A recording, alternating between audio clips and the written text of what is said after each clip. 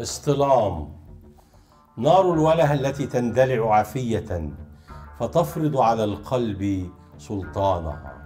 وكلما أرادت الإبتراد أضرمها العبد من جديد في تلذذ عجيب. إنها تقلب على جمر الانشغال بالحقيقة. ينسلي له الجسد كي تطل الروح. ومعها وبها ولها وفيها ومنها يحل السلام.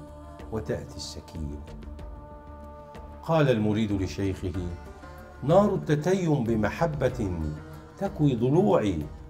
قال الشيخ اقبض على جمرك ولا تدعه ينطفئ.